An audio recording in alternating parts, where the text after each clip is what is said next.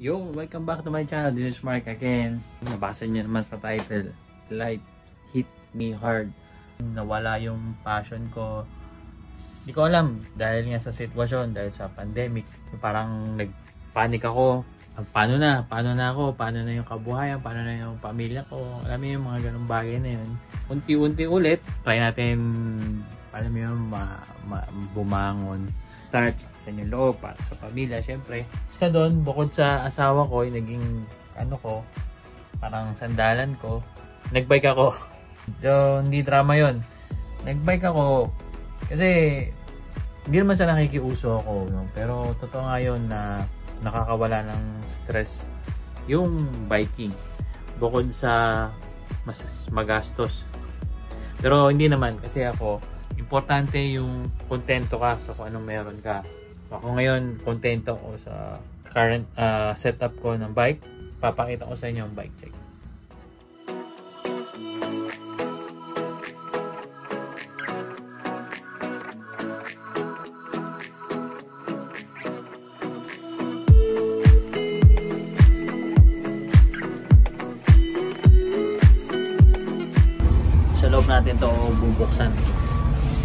Folding bike. Mainit kasi dito sa balcony eh. Tsaka maingay. So yun yung kagandahan dito sa folding bike. Literal no, pwede may pasok, pwede may park kahit saan. Tsaka hindi talaga ako milig sa mga super big bike yung parang mga mountain bike, malalaki gulong. Kasi nga, wala sa lahat, saan ko ilalagay siya dito, wala namang bakuran dito. Kita nyo, meron kaming plastic na damo doon sa labas. Pero maingay kasi doon, tsaka masisira yung bike sa init. Um, namiss ko mag-vlog, namiss ko mag-video, ma- namiss ko gumawa ng content. Actually, yun talaga yung purpose ko.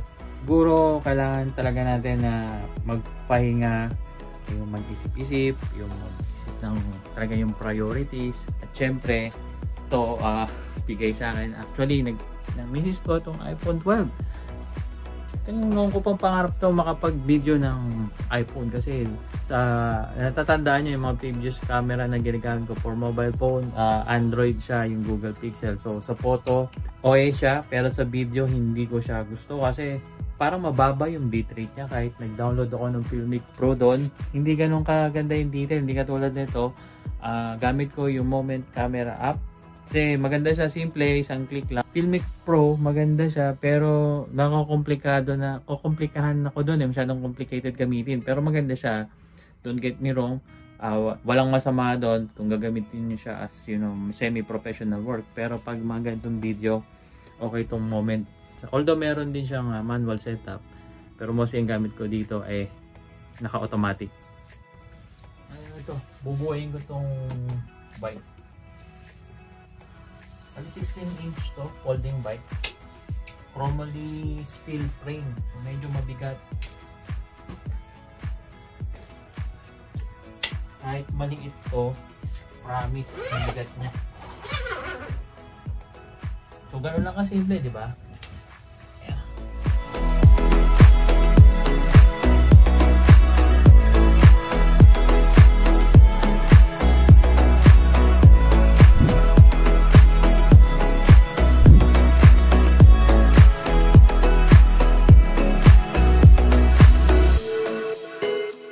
Ko kasi na-record ko siya ng 55 per seconds. Okay na ako dito, hindi na ako kumuha ng medyo mataas pa dito sa presyo saka sa brand kasi ito lang yung pasok sa budget ko. Okay naman dyan, nag-enjoy ako. Masaya ako, nagagamit ko siya. ah, smooth naman. Nung bago, medyo may konting mga, alam mo yun, ah, langit-ngit kasi nga siguro bago, wala pang masyadong grasa, kailangan i-braking. So okay naman, after nun, chinek ko, mingi ako ng mga advice sa mga eksperto sa mga bike kung anong dapat gawin sa mga ganong klase pag bago.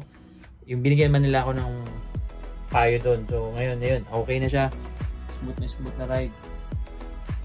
Hindi lang ako makapag video ah, pag nagra-ride kasi wala akong mount. Ah, yung chest mount tsaka dito. Ngayon, ayokong mag-take ng risk kasi yung hawak mo yung isang yung sa camera tapos nagbabay ka isang kamay sa manibela uh, ayoko mag-take ng risk eh kasi syempre matanda na tayo mga iwas iwas uh, disgrasya lang kasi delikado talaga yan na yung isang kamay mo lang yung nasa manibela, di ba? Ayoko rin magpasikat. Siguro, gagawin ko na lang pag pumunta sa isang lugar, video ko siya, sakay. Ah, yun, nakikita niyo naman, pinapost ko siya sa Instagram account ko, yung bike. Kung saan ako nagpunta yung bike ko. Ngayon, no, yun. Siguro kung kayo uh, ganun din, para sa sitwasyon ko, uh, wala nang trabaho, walang racket, walang pagkakitaan sa panahon ngayon. Actually, ano, okay lang yan. Kasi ako, hindi naman ako sa tipong nawawala ng pag-asa. Pero oh, lagi ako papasalamat kasi noong mga time na kasagsagan ng pandemic last year, bigyan ako ng isa sa pinakamagandang opportunity na magtrabaho sa alam mo yung parang dream job talaga na talagang as in alam niyo naman kung anong kumpanya yon Denari Cash. Hanggang ngayon sinusuportahan ko pa rin sila. Maraming salamat sa Denari family. Pero ganun talaga di ba? Uh, walang forever. Tama yon ganun talaga ang negosyo. Naintindihan ko yon panahon na, na pumutok tong pandemya na to, halos yung mga kaibigan ko na alam mo yon ang mga kasama ko sa industriya, sa mga media, sa photo and video, sila yung ano eh, sila yung naapektuhan ng time na yon. Pumutok yung pandemya, na-hire ako dito one month before mag-lockdown. Tapos sila, sa freelance, sila yung nawalan. So, parang sabi ko noon, ah, uh, laging papasalamat. Ako rin yung parang na ano sa kanila na alam mo yun na kung ano yung kaya kong maitulong sa mga kaibigan ko, mga kakilala ko. Tapos nung medyo umokay na panahon, umokay na yung pandemya, medyo lumuwag na. Sila naman yung nagkaroon. Nakakalungkot lang syempre tayo ngayon sa ganung sitwasyon. Pero walang problema doon kasi ganun talaga buhay, di ba? Kaya nga, lagi tayong magpasalamat kung ano yung meron tayo. So, yun lang siguro, wala akong maikon content kasi na more on video tutorial, mga ganun. Kasi medyo nawala yung siguro, hindi naman sa wala yung passion ko. Pero siguro yung yung bang nag-focus muna ako sa buhay, sa alam mo yun, sa priorities ko, family, yan, sa sa ganto.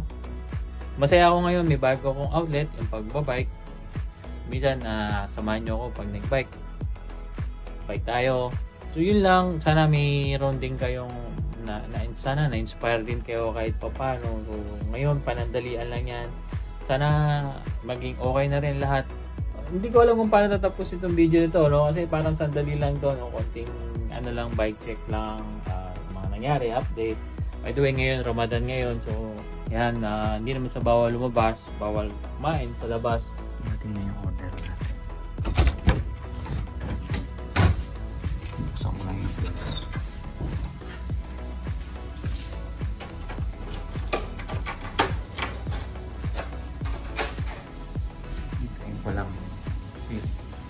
Order ako ng case ng bagong iPad. Tatan alam niyo naman no, uh, uh, abit pa ako ng Luma Fusion. Kailangan natin kasi ayan na siya. Yeah.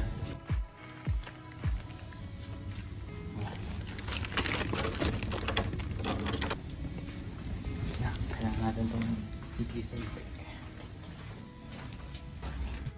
yung mga mayroong order online na uh, siyempre hindi natin alam yung mga pinagpuntahan nito facility nila. Although sabi nila yun siyempre uh, dito sa Dubai maingat na maingat pero wala pang mas iingat pa kung mag-iingat tayo di ba? Kaya ibig sabihin na magdoble ingat tayo. So ibig sabihin lang nun hindi ko na siya masyado uh, padadaanin dito Tuwa muna tayo guys. So, ngayon wala akong shoot, walang editing. Retro-rest natin to. Mukhang nadali ako dito. Medyo hindi legit. Pero okay lang. Eh, medyo hindi tayo satisfied. Basta okay siya. Uh, yan. Ito na yun natin to at least hindi na ako natatakot na parang magasgasan tong iPad natin kaya uh, pag kumikita ako sa mga maliliit na part time ko dito mga pag kumikita ako sa part-time ko, alam nyo, bumibili ako ng invest gamit, investment. Kasi, syempre, kailangan ko mag-upgrade din, di ba? Kada, naman na, parang hindi tayo pag-iwanan. Wala namang masama siguro doon.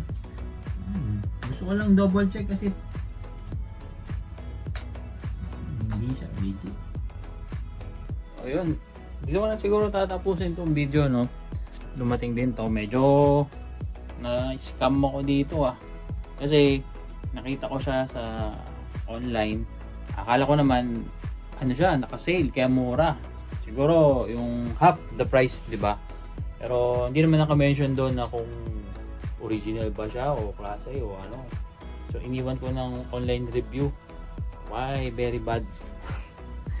okay guys, pilitin ko na makagawa ng video hindi hindi syempre dahil alam mo yun sa mga viewers o pa, siguro para sa akin na din kasi ano eh oh, pag hindi ko to ginawa lalo akong mapag-iiwanan eh uh, napatunayan ko na rin naman sa sarili ko na yung first step ahead talaga kailangan meron kang gagawin first step ahead hanggang sa maging habit mo na siya o yun yung hmm, tatry natin siguro kahit walang kwenta tong mga content natin simpleng video lang gagawin ko so yun uh, siguro sa susunod ira-ride ko to. So, ngayon medyo mainit kaya hindi ako makalabas. See you next time guys. Salamat ulit. Bye-bye.